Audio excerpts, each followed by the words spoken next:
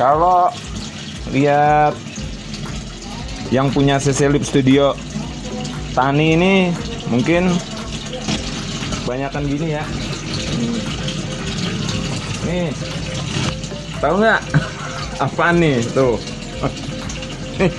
Lagi banyak dicari nih. Apaan coba? ini si Sultan Brunei. Eh, ini contoh teknik cangkok kalau teknik cangkok uh, studio alam kita CC Lip Studio ini nggak pakai botol ya kita pakai ini nih.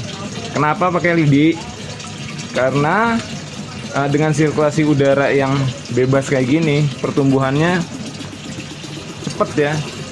Ini awalnya ini indukannya anaknya ada 6 tuh kita hitung. Satu dua ya puterin. Tiga empat lima enam ya. Nah ini nanti kita pisah juga indukannya. Nah nanti setelah indukan dipisah tumbuh subur baru kita pisah rumpun anakan seperti yang nanti kita bikin video kali ini ya. Taruh dulu. Ya banyak tuh taniannya. Juga puterin aja kak. Ini tinggal nunggu waktu buat kita cacah.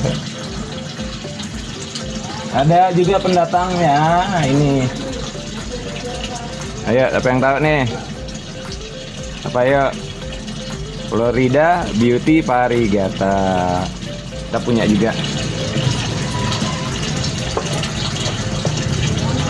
Kita taruh dulu ya. Nanti kita akan langsung ke cara tutorialnya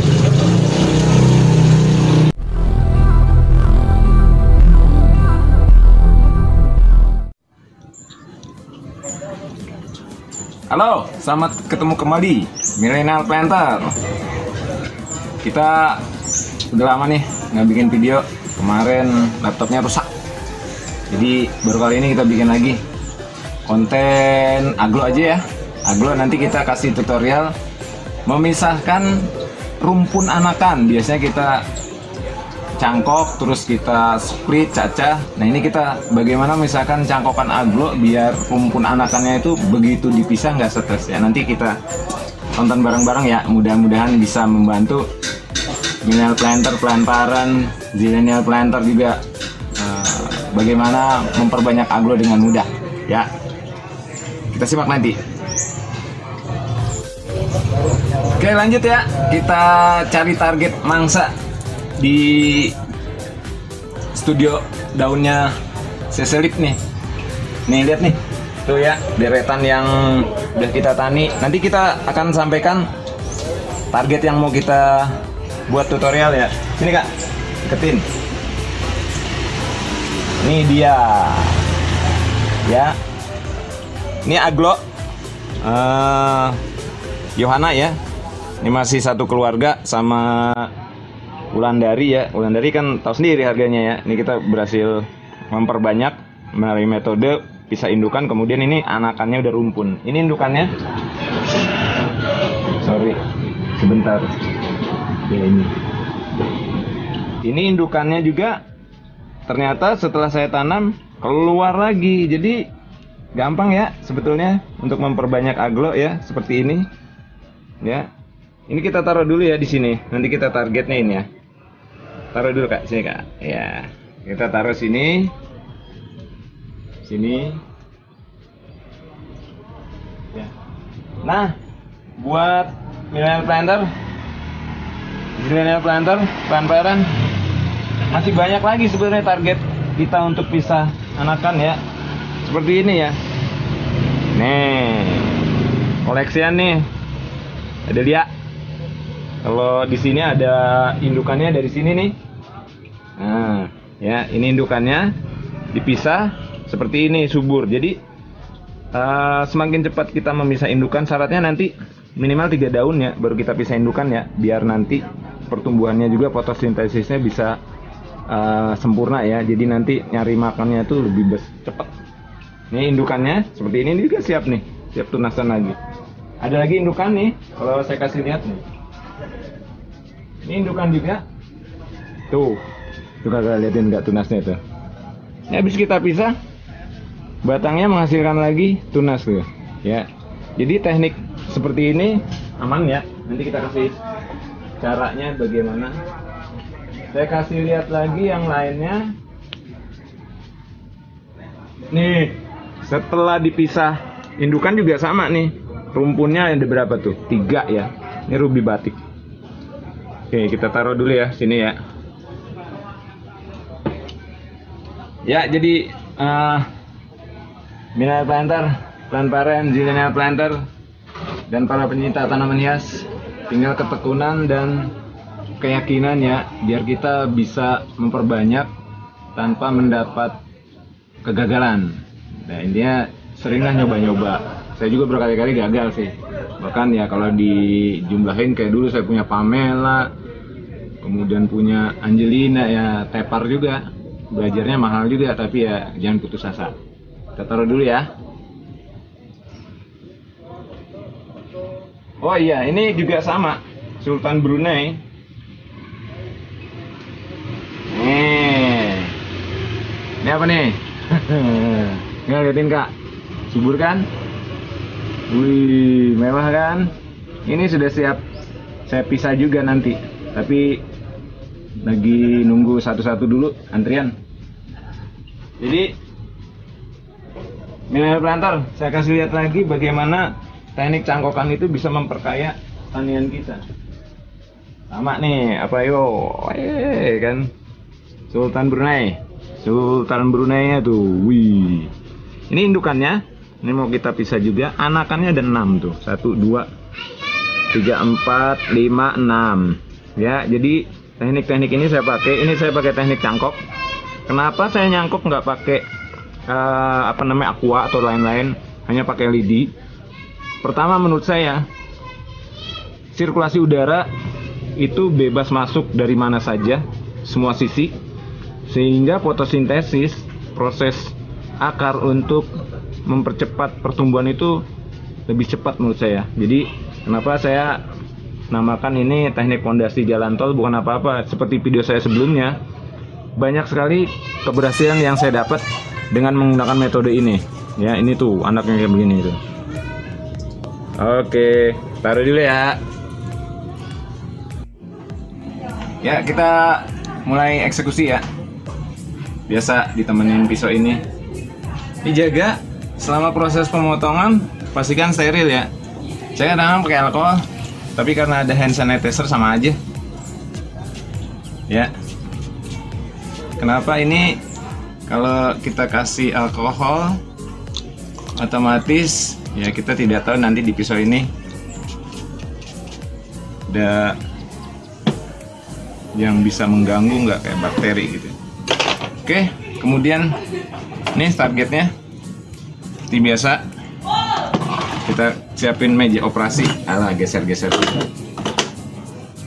Ini kalau ngelihat coba lihat gak saya senang nih ngelihat parigatanya ngeblok begini nih. Ini koptik ya kobra batik. Maskot dulu deh hari ini. Oke taruh di meja yang maskotnya. Bikin video bikin maskotnya satu. Ya? Ya. Buat mempersingkat waktu langsung kita lihat nih. Dulu deh gua nih birkinnya. Kita lihat ya perakarannya seperti apa. Kalau yang bagus gini nih kita angkat. Oh, ini akarnya juga cukup tua ya yang sudah waktunya. Kita buat cacahan. Ya seperti ini ya. Jadi kita kasih lihat kak. Sini kak. Ini tua banget nih. Tapi saya nggak mau banyak kerja. Nggak akan saya potong akar-akar tua. Apa adanya aja deh. Intinya waduh ini ada tunas baru nih. Ya.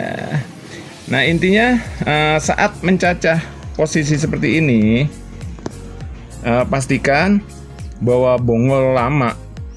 Karena di sinilah letak uh, biar nggak stresnya ini ya, nih saya saya kasih contoh ya ini adalah tunas yang baru tumbuh, tetapi akan kita sertakan juga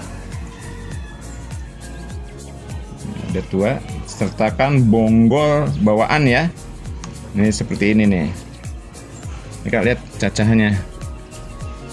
Biasa seperti biasa mencacahnya di atas ruas.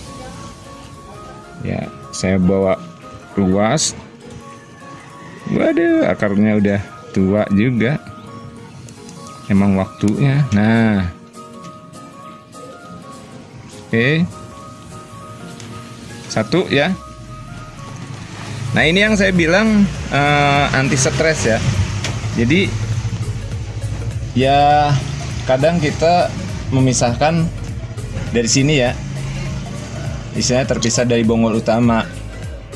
Bisa juga sebetulnya nggak masalah. Cuman alangkah baiknya supaya tingkat stresnya rendah itu bonggol uh, utama yang bawa akar juga nih seperti ini. Ini akarnya memang saya lihat sih kurang baik kurang bagus. Yang bagus seperti ini putih nih.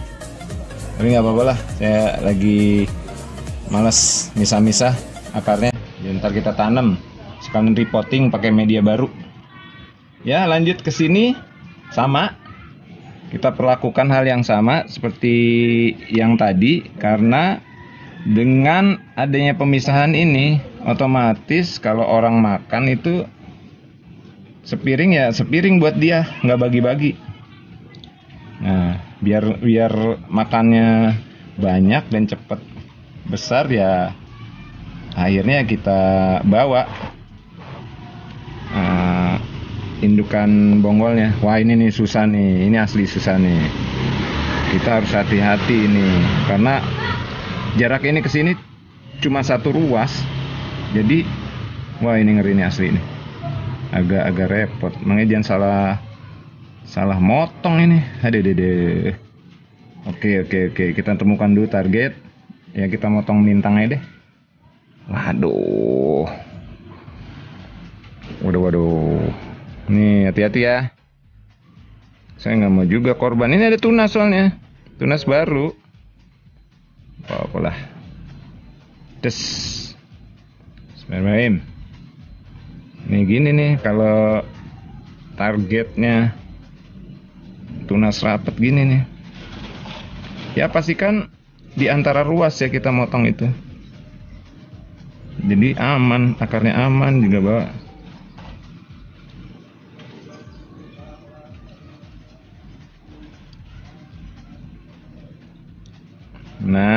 aduh. Akarnya jangan sampai kalah kepotong. Nah akhirnya berhasil. Tuh kita udah punya tiga. Karena hari ini tekniknya simple akhirnya kita bikin tutorial simple. Jadi kalau ini antrakol nih udah siap saya. Bisa saya isi ini udah mau habis. Saya aja nih. Tuh langsung. Nggak usah pakai air air diaduk langsung. Kemudian ini langsung.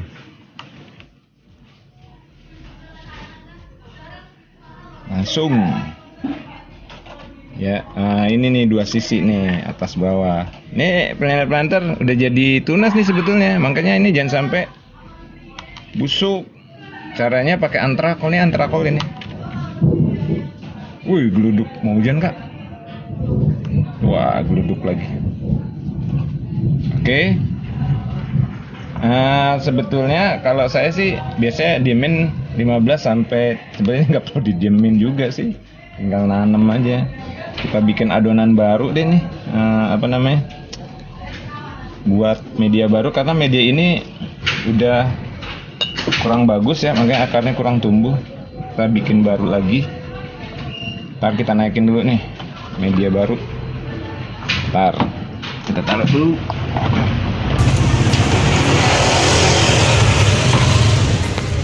Ya. Ini pakai tiga media aja saya banyakin kokopet. Ini ada kokopet ini ada kokopet. Kokopet. Ini ada sekam bakar. Ini sekam mentah. Saya biasanya kalau anakan gini nggak mau yang berat-berat seperti ini dulu aja. Nanti mungkin saya tambahin dekasar osmokot untuk perakarannya. Ini sangat-sangat poros ya saya buat simple. Ya komposisi sebetulnya banyakin kokopet anggap aja 50 25 25 nya itu uh, sekam bakar sekam mentah. Tapi nggak usah baku juga silahkan pakai proporsional sesuai dengan keadaan lingkungan sekitar. Karena ini juga nggak nggak pasti harus segitu. Kita juga kadang-kadang melihat musim kalau musim hujan ya kasih biar poros saya kasih apa namanya pasir malang. Terus saya kasih andam buat komposnya juga. Di samping itu pakai pupuk liris tapi karena ini masih anakan dan saya taruh kandang saya kan uh, ada atasnya ya ada ada atapnya. Saya pikir sih aman lah nggak usah pakai poros-poros banget seperti ini aja cukup. Ini sebetulnya uh, sekam pun saya beli sekarung tuh 20.000 ya kokopet sekarung di sini mahal sih 35 kokopet kemudian sekam bakar juga 15.000 sampai 20 biasanya saya nanya bang uh, sekam bakarnya minta yang tua ya? Gitu. Jadi kalau yang tua itu beda. Nanti yang tua itu kayak gini nih, warnanya coklat. Tuh, tua ini. Artinya dia kayak nggak ada getah dari gabahnya itu udah hilang. Jadi nggak panas ke tanaman. Nah ini yang disyaratkan oleh fermentasi sebetulnya ini sering kali uh, zat-zatnya tuh masih mempengaruhi terhadap kesuburan media. Nah ini Oke, dulu. Aduk-aduk kayak bikin adonan bolu. ya, setelah tercampur rata, ini bisa kita langsung aplikasikan ya. Simpel aja. Ini pot udah kita siapin. Saya nggak pakai full. Uh, kenapa nggak pakai full? Karena nanti kalau udah sehat baru saya tumbuh tunas baru saya tambahin medianya buat kenapa buat ini menjaga kelembaban ini kakak liatin tuh. Ya. Tapi saya ini saya tambahin pupuk seluruh sih. Tapi untuk saat ini kita kan nanam doang repotting sekalian pakai media baru. Simple sih medianya. Dan di pasaran banyak. Ini semua pakai itu kok sama. Tuh kak. Liatin aja. Semua sama. Daunnya pada subur ini nggak saya pakein pasir malang nggak apa-apa. Nanti kalau udah gede dikit saya pindahin baru saya pakai uh, yang apa namanya media andalan fermentasi yang pakai andam satu. Lumayan kan taninya? Iya, kita siapin lagi. Full deh. Kasih ini dia. Ya.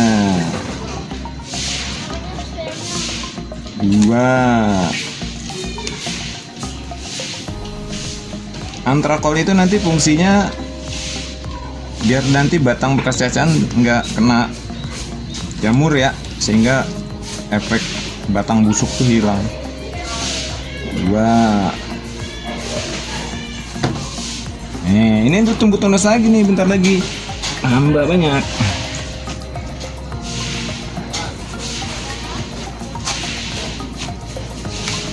Oh enak kan?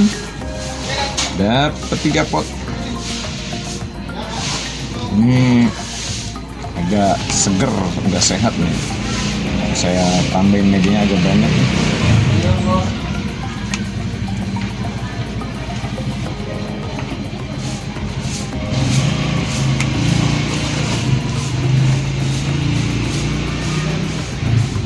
Yes,